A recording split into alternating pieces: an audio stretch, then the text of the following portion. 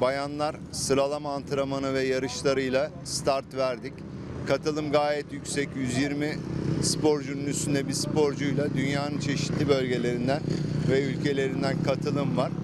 Ee, günün sonunda birinci etaplarını tamamlayacak olan e, Bayan ve Gençler Avrupa Şampiyonası'nın bugün akşamüstü ikinci ayaklarından bitireceğiz. Yarın da MXGP ve MX2 GP'nin e, şampiyonaları başlayacak.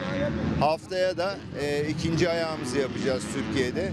Türkiye'de ve dünyada çok nadir olan iki ayak Türkiye'de yapılıyor. Daha doğrusu bir ülkeye iki ayağı vermiyorlar. Bunun nedeni Afyon'da yapılan bu tesisin gerçekten e, dünya standartlarının üstünde olması ve bütün takımların bunu talep etmesi bu bize çok e, ayrı bir haz verdi, keyif verdi. Bütün emeklerimizi, belediyemizin, valiliğimizin bütün emekleri, çabaları, destekleri e, boşa çıkmadı. E, Türkiye'yi gururlandıran bir yarış e, Türkiye'de başladı, start verildi. İnşallah bu şekilde de tamamlayacağız.